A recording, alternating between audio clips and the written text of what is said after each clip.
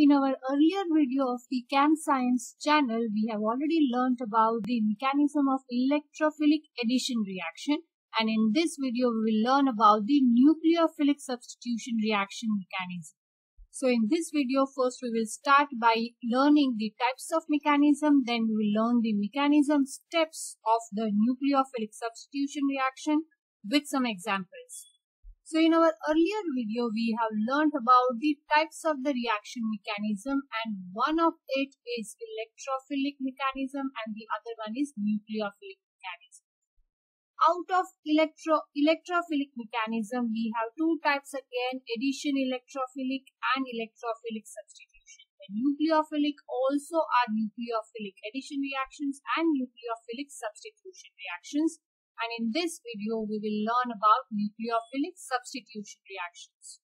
Now the two types of mechanism of nucleophilic reactions these are addition and substitution reactions. Now again substitution reactions are also of two types that is SN1 mechanism and SN2 mechanism and in this video we will concentrate on SN2 mechanism. S stands for substitution and N stands for nucleophilic and let's then understand what do we mean by 2 and 1. Now before we understand nucleophilic substitution reaction, let's first understand the meaning of nucleophile.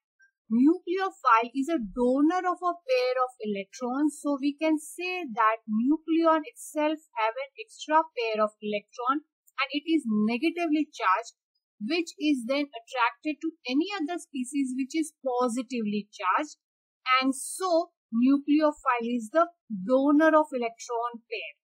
Now, what type of molecules undergo nucleophilic substitution reactions? So, molecules having electronegative atom bonded to the carbon undergoes nucleophilic substitution reaction.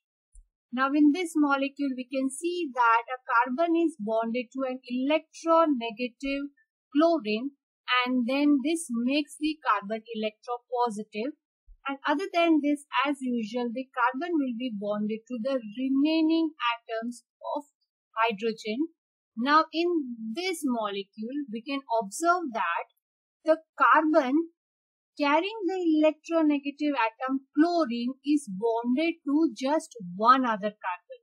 The other two bonds are occupied by hydrogen now, such a molecule is called primary molecule, primary haloalkane.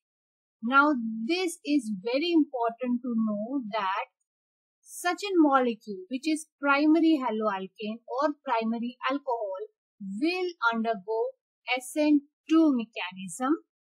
In our next video where we will learn about SN1 mechanism, we will understand that what are tertiary molecules. Here, temporary you can understand that what are primary molecules. Let's repeat that. What are primary molecules? Primary molecules are the molecules in which any electronegative atom bonded to the carbon that carbon should be bonded to only one more carbon.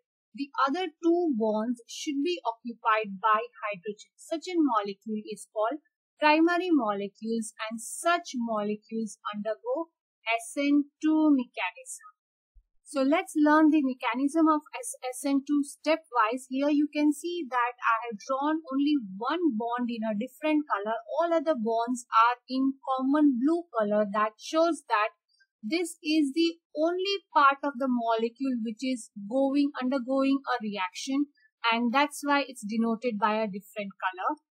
Now as chlorine is bonded to a carbon, that carbon becomes electropositive, partial electropositive charge it gets and chlorine is partial negative. Now because of this, the CCl bond has a chance of breaking down and the electron pair which forms this bond is going to move towards chlorine making the chlorine fully negative. So the whole electron pair making this bond is going to move towards chlorine. But at the same time, another electron negative species which we call as electrophile, here we have denoted it as OH that is hydroxide ion which is again a negatively charged species with a lone pair of electron. Now that is at the same time going to get attracted to the electropositive carbon. Now both of this is going to happen together.